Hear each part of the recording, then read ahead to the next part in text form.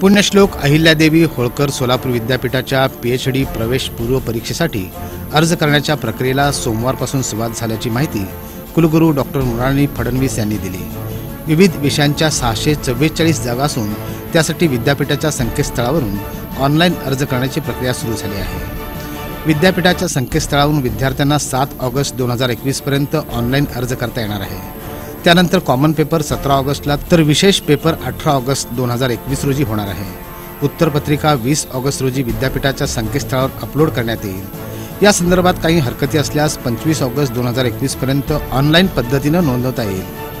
अंतिम उत्तरपत्रिका सव्वीस ऑगस्ट रोजी प्रकाशित करण्यात येईल.